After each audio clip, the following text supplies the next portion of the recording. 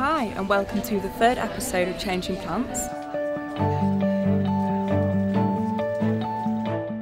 I'm Alex Froggatt and I'm an RHS Flower Show Award winner. Today we're at the offices of Women's Health magazine and at the moment they currently have zero plants and as you can see they're in desperate need of some greenery.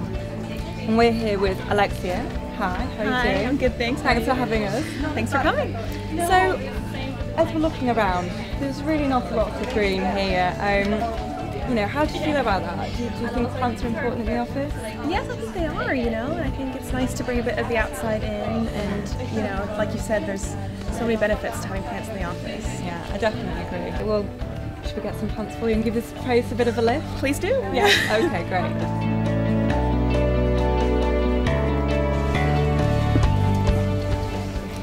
We've called in our plant experts again to bring in the plants. And this time we've got a selection of seasonal house plants, including Kentia palms, we have Scindapsus and we have chrysanthemums.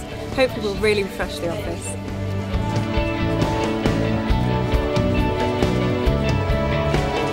Here we have a Kentia, which are great plants for the office. They can take quite dark, loving spots, so somewhere like here in the corner, um, Bardedessa is great, and also great for taking dust away from the environment, um, up to a fifth. Here we have a Scindapsus, which is a great plant for the office. Uh, they're easy to maintain, and like all plants in offices, they increase their well-being by 47%.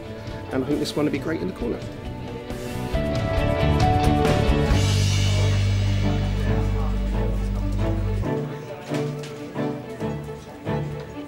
So we've gone from having an office with no plants to a lush green oasis.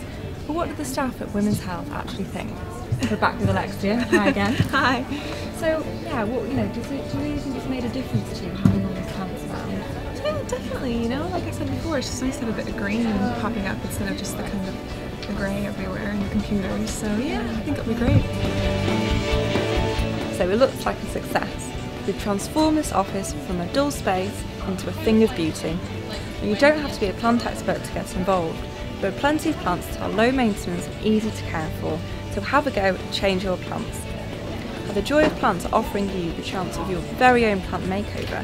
So go along to facebook.com forward slash the joy of plants and I might be seeing you soon. Bye.